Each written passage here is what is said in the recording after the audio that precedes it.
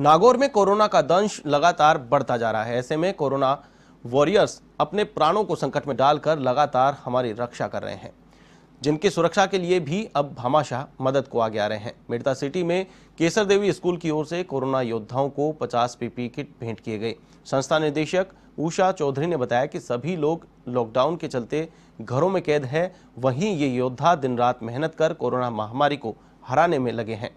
ऐसे में हमारी ज़िम्मेदारी है कि कोरोना योद्धाओं का सहयोग करें ताकि उनका उत्साह और साहस बना रहे।